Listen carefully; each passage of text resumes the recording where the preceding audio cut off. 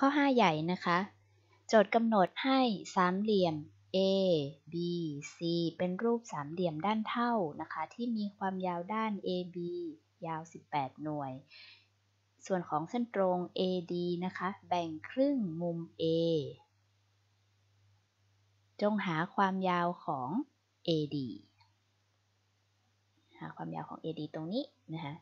จากสมบัติที่บอกว่าสามเหลี่ยม ABC เป็นรูปสามเหลี่ยมด้านเท่า จะได้ว่า AC ก็ต้องยาว 18 หน่วยเช่นกัน และ AD นะคะแบ่งครึ่งมุม A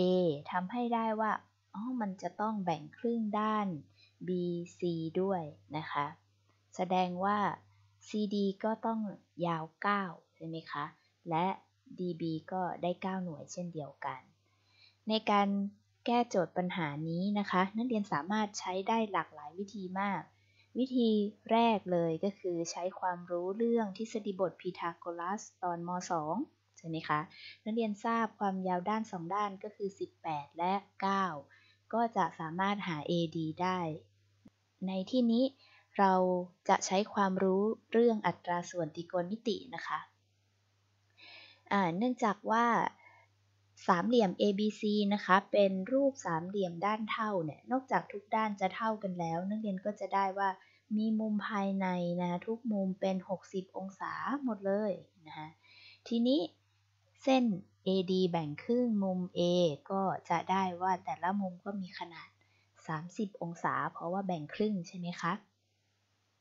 สิ่งต่อไปเราจะใช้อัตราส่วนตรีโกณมิติหาค่า AD นะคะ นักเรียนเทียบ กับมุมใดสักมุมหนึ่งก็ได้ ในที่นี้เราลองเลือกเทียบกับมุม 60 องศานะคะ และใช้สิ่งที่โจทย์กำหนดให้ สิ่งที่โจทย์กำหนดให้ก็คือด้านที่ยาว 18 หน่วยนะคะ ด้านที่ยาว 18 หน่วยเนี่ยคือด้านที่อยู่ตรงข้ามมุมฉาก ด้านนี้จึงมีชื่อเล่นว่าฉากนะคะ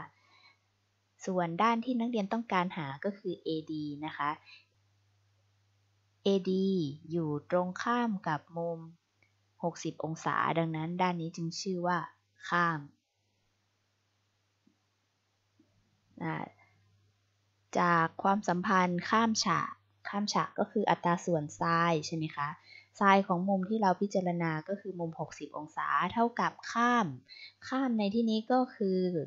ด้าน AD ใช่ไหมคะ ความยาวของด้าน AD หารด้วยฉากก็คือ 18 นะคะ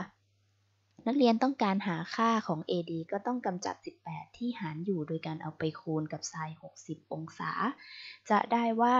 AD นะคะเท่ากับ 18 คูณอยู่กับไซน์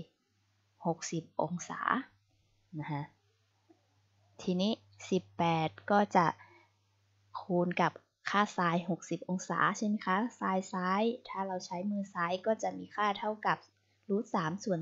2หรือนักเรียนสามารถใช้ค่าที่เปิดจากตารางก็ได้นะคะ แต่จะเป็นค่าประมาณที่เป็นทศนิยม 3 ตำแหน่ง และตัดถอนนะคะ 2 1 2 2 9 18 ดังนั้น AD ก็จะมีความยาวเท่ากับ9รูท3หน่วยนะคะ ถ้าต้องการคำตอบที่เป็นจำนวนจริง นักเรียนก็แทนค่ารูท3ด้วยค่าประมาณนะคะ ก็คือ 1.732 ใช่ไหมคะเอากันเลยค่ะแล้วก็ไปทดเลขกัน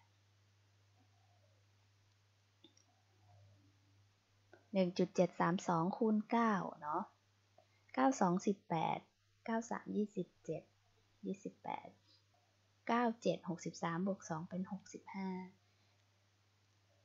9บวก6ก็เป็น 15ทศนิยม 3 ตำแหน่งนะคะ ดังนั้นคำตอบของข้อนี้ AD ก็จะมีค่าประมาณ 15.588 หน่วยนั่นเอง ทีนี้ถ้านักเรียนเลือกใช้วิธีสามเหลี่ยมคล้ายนะคะ เราจะพิจารณาเฉพาะ รูป ด้านล่างตรงนี้ก็แล้วกันนะคะ รูปบริเวณนี้นะคะ ก็จะได้ว่ามุมตรงนี้เป็น 60 องศา นี่ 30 องศาใช่ไหมคะ และตรงนี้ก็เป็นมุมฉาก จากสามเหลี่ยมมุมฉากรูปนี้เนี่ย ก็จะมีแพทเทิร์นก็คือ 1 2 แล้วก็รูท3ใช่ไหมคะ ทีนี้นักเรียนสังเกตนะคะ ว่าด้านที่โจทย์กำหนดให้เนี่ยคือด้านที่อยู่ตรงข้ามมุมฉากใช่ไหมคะ ความยาวเท่ากับ 18 แต่ในแพทเทิร์นเนี่ยเป็น 2 ทำยังไงให้ 2 เท่ากับ 18 ก็คือ คูณด้วย 9 ใช่ไหมคะ จะมีค่าเท่ากับ 18 แสดงว่าเมื่อคูณด้วย 9 ทุกด้านนักเรียนก็ต้องคูณด้วย 9 เช่นกัน สิ่งที่ได้ก็คือ ด้าน AD ที่โจทย์ต้องการหา ก็จะมีค่าเท่ากับ9รูท3เช่นเดียวกับที่เราใช้วิธีแรกหา